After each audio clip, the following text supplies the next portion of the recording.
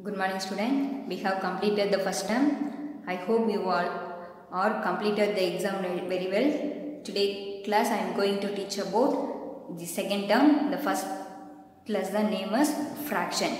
The first lesson name is fraction. F R A C T I O N S fraction.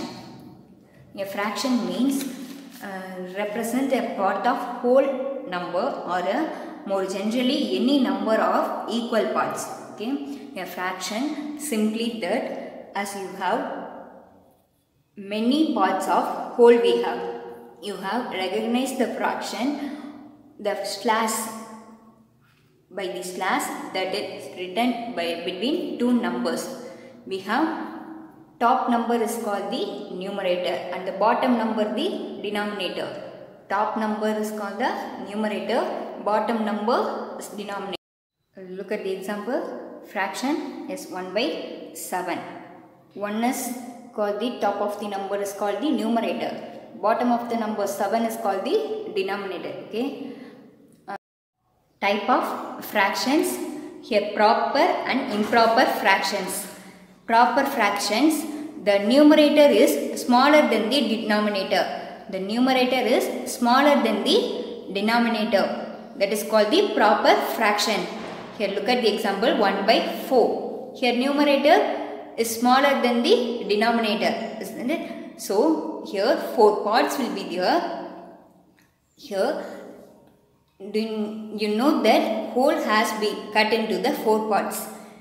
You are required to take out one part. If it is possible yes if it is a possible so it is the proper fra fraction proper fraction the numerator is smaller than the denominator. Is called the proper fraction. Then improper fraction the numerator is bigger than the denominator. Numerator is bigger than the denominator. Look at the example. 4 by 3 4 by 3 here numerator is the bigger. Then denominator is the smallest.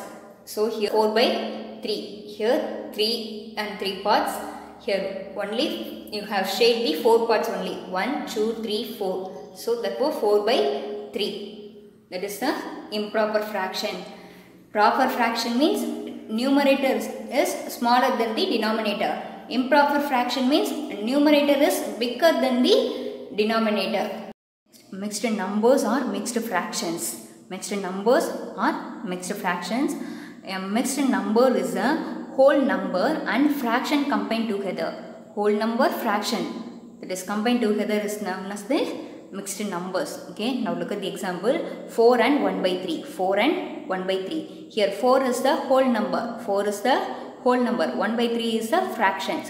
So whole number and fractions combined together is known as mixed number. Okay then converting mixed number to improper fra fractions.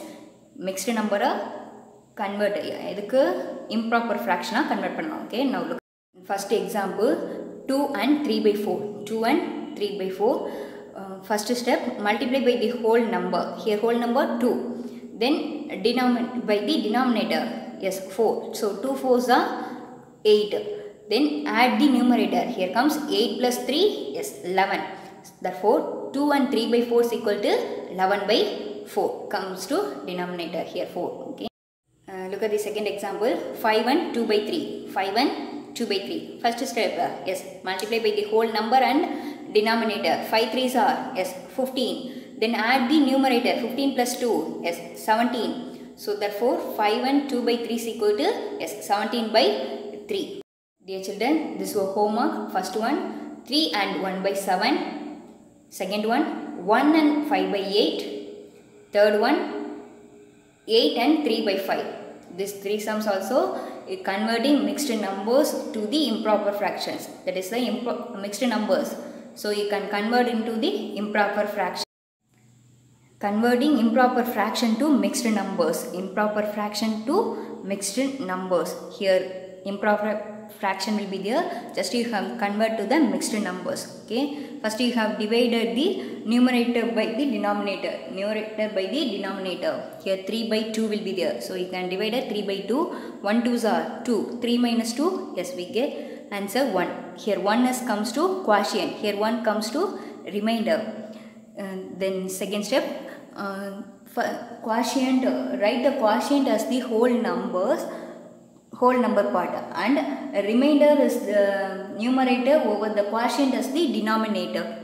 So first you have write the whole part of quotient as 1 and remainder as well as the denominator as 1 by 2 so therefore 3 by 2 is equal to 1 and 1 by 2 now look at the second sum 17 by 5 Denom first you have divided the numerator divided by denominator divided by the denominator okay? 17 by 5 3 5s are yes 15 so 17 minus 15 we get the answer 2 here comes 3 is a quotient. 2 is the uh, remainder.